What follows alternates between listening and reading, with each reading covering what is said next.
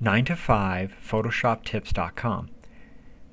One of the great things about Photoshop is the ability to be able to switch things very quickly using keyboard shortcuts and being able to um, switch colors really quickly.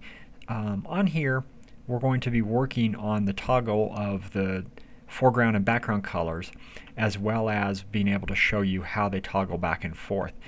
By default, the foreground is black and the background is white. With Photoshop, you can do a variety of different things. So I'm going to go ahead and change some colors in here. I have some green and a red. And with this, if you want to quickly go back to the default colors, you can either press D on your keyboard or click on this icon here. So I'm going to press D on my clipboard or on my keyboard and it'll take me right back to my default colors. If I want to switch these two colors I can either press X on my keyboard or press the little arrow icons here and it'll switch the two back and forth.